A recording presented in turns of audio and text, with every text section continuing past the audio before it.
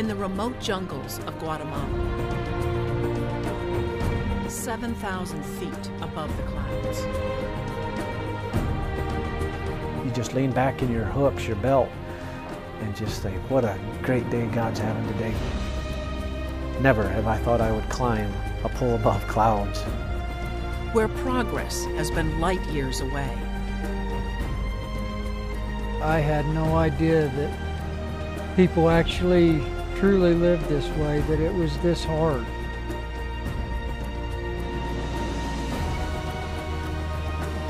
Thirty-two Hoosier linemen challenge gravity, Mother Nature, and terrain. Offering more than hope, creating more than change, bringing light and power to the people.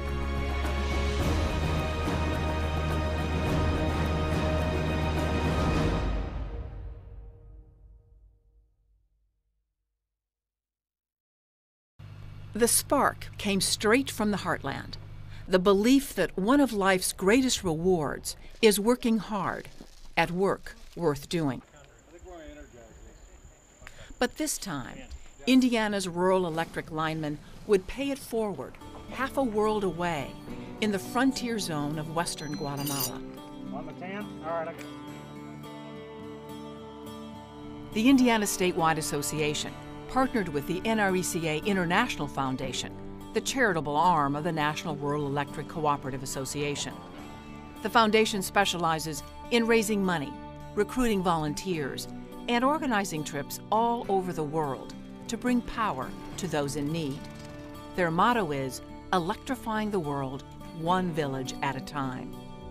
This group is the largest group that we've had at one time overseas. It has been a huge endeavor.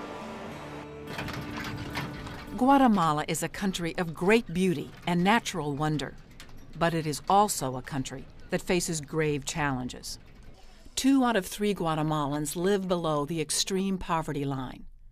Guatemala has the fourth highest chronic malnutrition rate in the world. 70% of children in these mountains are malnourished, their families eking out a subsistence living growing coffee and corn in Central America's highest non volcanic mountain range. Electric power for schools, clinics, homes, businesses has been sporadic, if not non existent. About in the total population, about a 17% without electricity. I'm gonna wiggle you a little bit. I'm gonna let off on this, okay? It took a year of planning, organizing half a million dollars of equipment, manpower, and supplies donated by Indiana's rural electric co ops. You know, until you come and just look and, and see what's here, you really don't, you can't grasp the size of it and the importance of it and what it's getting done. Stringing 1,200 foot spans of wire across gorges, Roger that, neutral top. setting poles by hand without paved roads or bucket trucks. we're started down, or almost. Can you go up more? That pole got exciting. Uh, it was set shallow. We had a gap on this side, four to five inches. Uh, once we got up on top and it shifted on us, so got pretty hairy for a minute. we got each other's back. We watch out for each other. It's just kind of like brothers. But they know nothing is easy here. Everything is a struggle. All the work takes longer. There are shortages. And working 10 hour days, seven days a week, the Indiana linemen are in a race against time, with twice as much work as they'd anticipated. we continually run out of equipment, run out of supplies. Well, we've had a couple conditions here where the fog, the guy could be on one pole and he couldn't see the guy on the next pole because of the clouds. We're working in the clouds and the elevation. So um, we've had rain daily. Uh, we're working in uh, conditions unlike anything we've ever encountered in any of our lives. I've never once on this trip been disheartened and thought, no, there's no way. It's just throwing the towel, let's just quit and go home. No, never once. Improvise, adapt, and overcome. That's what a lineman has to do. The linemen are humbled by the Guatemalan villagers. The stuff that they did was brutal with carrying the poles and digging the holes. They did the hard, the hard stuff. And the trust and respect becomes mutual. Feliz tarde. En primer lugar, eh, nos sentimos muy contentos.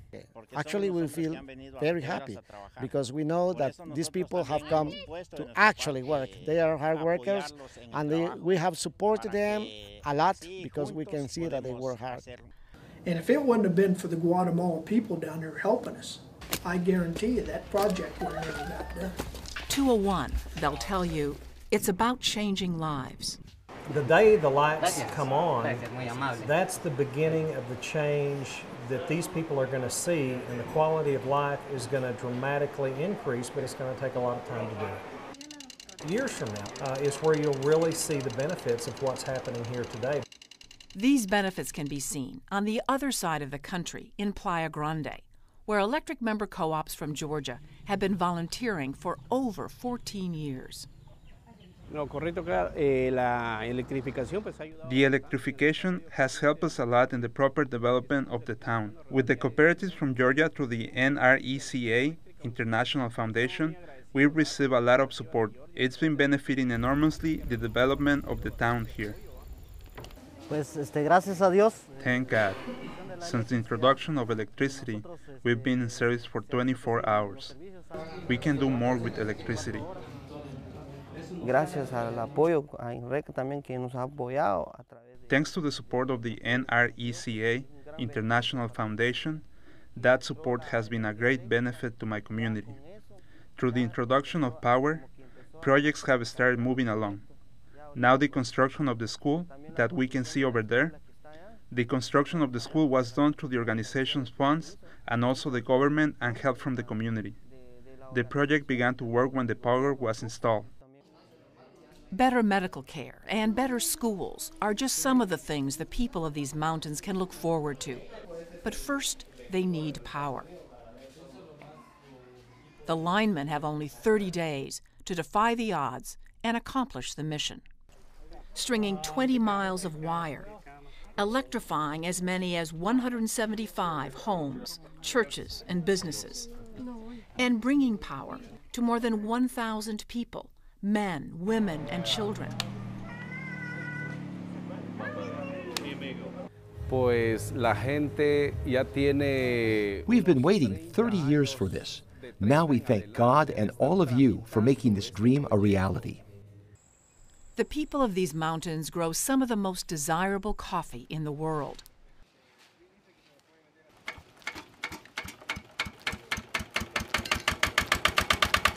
But without electricity, most of the profit goes to the middlemen who have the power to clean, dry, grind, and package the beans for delivery. This is an electrified coffee processing plant. Facilities like this could change the entire economy on the mountain.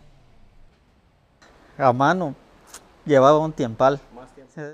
By hand, it would take a long time. Let's say the sun was good. It would take like five days just to dry the coffee. The power they bring transforms the villages, but the work transforms them.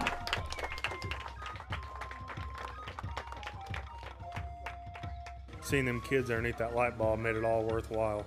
To see their faces, and they've never had the power, the electricity like we've had back here. It's just, it's like, man, it is worth it all.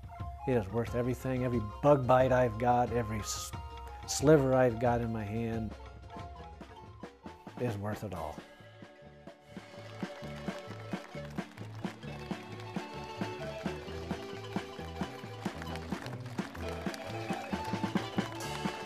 And to see that they were pouring everything that they had into thanking us. It was more special than I ever could have ever imagined to see that gratitude out of people that have so little. Throughout these savage and beautiful mountains, farmers will earn more to support their families from their coffee bean harvest. Their children will lace up new shoes, or play football, or practice what the linemen taught them. So now, when darkness falls behind these mountains, the lights come on. and their future shines more clearly because these linemen helped Hoosiers power the world.